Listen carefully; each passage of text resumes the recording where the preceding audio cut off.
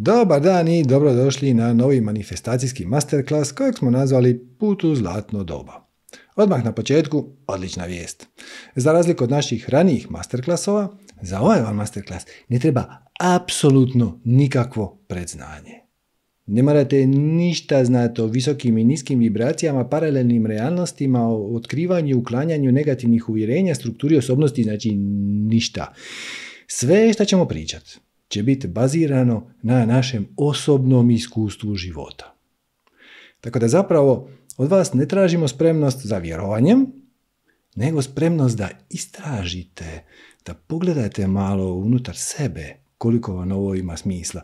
I s obzirom da sve možete sami provjeriti, nitko vas ne može prevariti. Jel tako? A pričat ćemo o tome kako ući u zlatno doba. I sad ovo možda na prvi pogled može zvučati kao ironija, ali ne. Vaše zlatno doba ni na koji način ne ovisi o okolnostima. Samim time može početi već sutra. Mada, kao što već naslučujete, ako pratite manifestiranje, kad se vi promijenite, onda će se promijeniti okolnosti, ali pustimo sad to.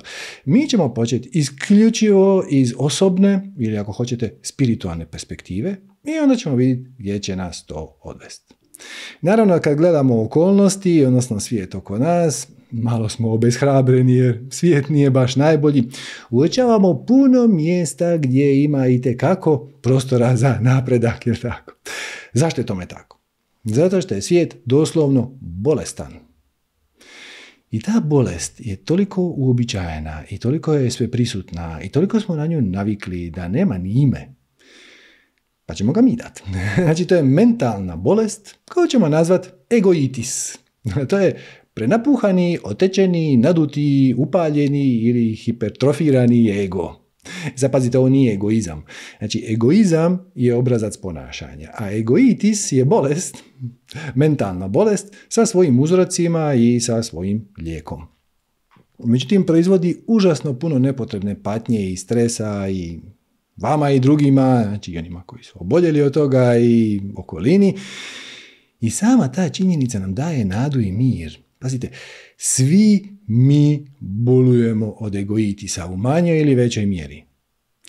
I samim time, pa kad jednom kad to doista prihvatite, kad to doista shvatite, kad to doista integrirate u sebe, uočit ćete da više nemate razloga za ljutnju na ljude koji su bolesni od egoitisa. A posljedice egoitisa su užasne, tako da egoitis treba liječiti. Međutim, nije dovoljno to napraviti samo kroz simptome. Treba nam uvid u uzroke. U ovom slučaju to je mehanika ega. Bez toga nećemo prepoznati ovu bolest i jednostavno ćemo se nastaviti identificirati s njom. Sad ovo malo može čudno zvučati. Kako to misliš identificirati se sa bolesti? Mislim, pa nisam ja bolest. Bolest je nešto što imam, nije nešto što jesam. E, ne. Ova bolest je specifična i zato je i nevidljiva. Zato što se mi s njom identificiramo. Nego, evo, umjesto da sad tu vadimo neke teške teorije, jeste li ikad imali osobito težak dan i onda ste onako možda u sebi, a možda i naglas izgovorili joj, danas mi je tako teško živjeti sam sa sobom. Ok? Koliko vas to ima u vašoj glavi ili u vašem tijelu da vam je teško živjeti sam sa sobom? Mislim, ko je taj prvi, a ko je taj drugi, ko je, ko je s kime teško živjeti. I tu je zapravo natruha korijena problema. Mi smo doslovno kidnapirani od strane prevaranta koji se pretvara da je ja.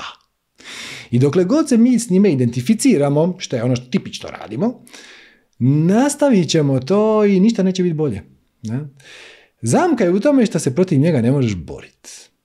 Jer čim se počneš boriti protiv tog prevaranta, uloviš se kako se boriš protiv simptoma. Plus, taj vas prevarant najbolje poznaje, on je dio vašeg mentalnog aparata. On je ko da se u šumi idete boriti protiv medvjeda koji ti čita misli.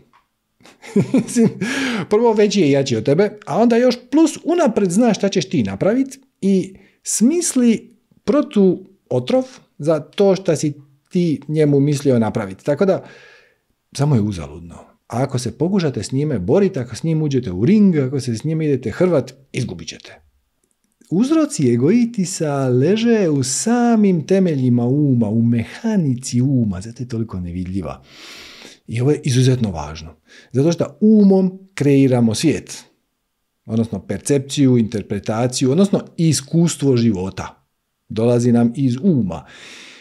Koji je apsolutno inteligentan, bez svake sumnje, ali je istovremeno i disfunkcionalan. Što je ona loša kombinacija. On stalno nešto kompulzivno priča. Ste primijetili to? Kako imate glasić u glavi koji stalno nešto njurga, prigovara, sad ovo nisi napravio, ovo nisi dovoljno dobar, ovaj će te prevariti. Stalno ti nešto ti šapuće u uho i onda ti nekako mentalno na to odgovaraš i onda to zvuči srećom pa je neizgovoreno, ali zamislite da, da, to, da to krenete izgovarati, samo naglas pričate. Izgledali biste kao nekakav luđak kojeg sretnete na cesti i onda se od njega odmaknete. Znate ono, imate ljude koji idu po cesti i onda se ono, nekako se svađaju sami sa sobom. Sami hodaju i onda kažu, je, ali ne može. I onda je ona meni rekla, joj, kako to može? Ajme, majko, kakav je ovaj svijet. Da vi gledate tu ženu ili gospodine, kažete ono, ok, kuku. Pa opet, svi mi to radimo. Jedina razlika je što mi to radimo internaliziramo, ne izgovorimo. Ali sad ja imam pitanje za vas. Da li biste takvog gospodina koji ide po cesti i mrmlja sam sa sobom priča sa nevidljivim ljudima, da li biste mu dopustili da upravlja vašim životom? Da li biste ga stavili u pilotsku kabinu i onda mirno sjeli u avion jer rekli samo vozi Miško? Ne bi. Pa opet svi mi to radimo. Mi dopuštamo tom otmičaru, tom prigovaraču, koji nam sjedi u glavi, da upravlja našim životima.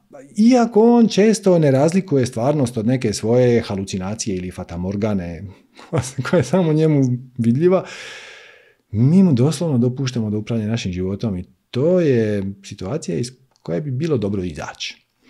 Dobra vijest je da mi imamo moć da promijenimo svoj um, odnosno instrument s kojim percipiramo svijet, instrument koji nam kreira iskustvo života i to onda napravi neopisivu razliku. To se da izliječiti. Možete, počnete od sebe naravno i kad vidite, kad počnete nadzirati svijet kakav doista jest, a ne kakav vam ga um filtriran kroz egoitis servira, stvari će se stubokom promijeniti.